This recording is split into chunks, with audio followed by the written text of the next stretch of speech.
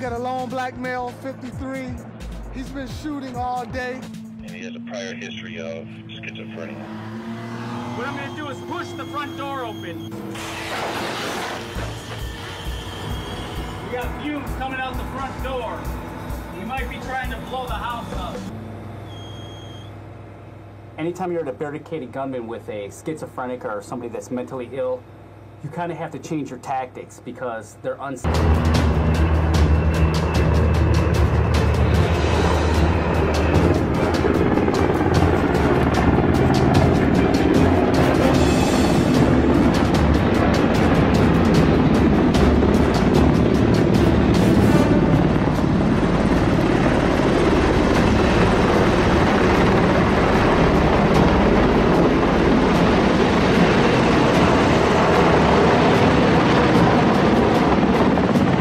현재 건물 옥상에서는 무력 진압 작전 명령을 받은 특공대 요원들이 UH 항공 헬기를 이용하여 캐스트로프 침투를 실시하고 있습니다.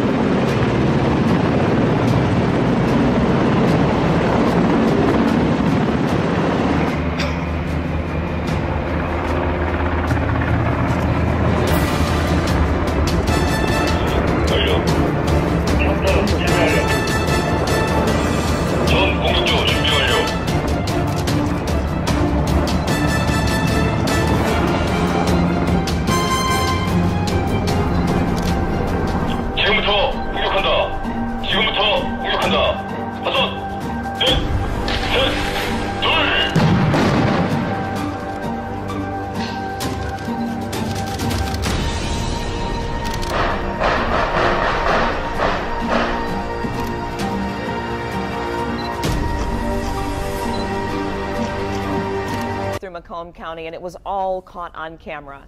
Tonight, police say two of them are still on the run. 7 Action News reporter Tara Edwards is in the newsroom now with more. Well, Glenda, it all happened in the early morning hours Tuesday. Now police would like your help tracking down the people responsible.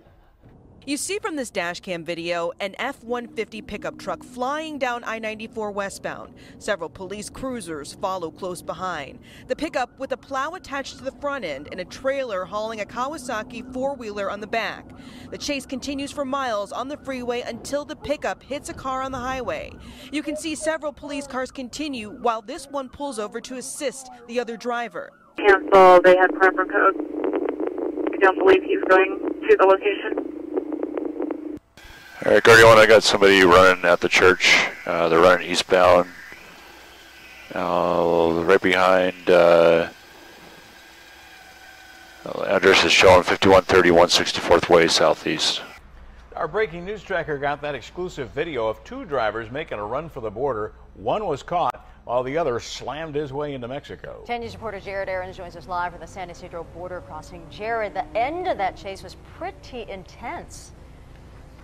Yes, it was, Virginia Bill. Good morning. When cops tried to pull over two cars, one of them took off, going 120 miles an hour towards the San Ysidro border crossing. And you can take a look at the lanes below us. You see some of the damage left behind when the driver of that minivan started ramming other cars out of the way. 10 News got a copy of the police scanner traffic from last night. You can hear how tense officers were as they got near the border. 792, 792. There, the vehicle is ramming another vehicle at the K rails. Copy vehicle ramming other vehicles at the K rails.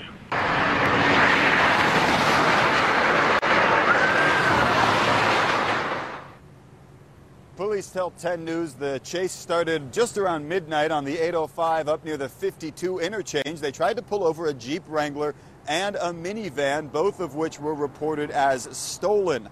The driver of the Jeep did stop, but he jumped out of his car and started to run away. Police caught him using search dogs. The driver of the minivan sped off, though, leading cops on that 120 mile an hour chase before hitting other cars here at the border crossing and then escaping into Mexico. There were no injuries reported, by the way, during this chase. You can clearly see everything has been cleared up here at the San Ysidro border crossing.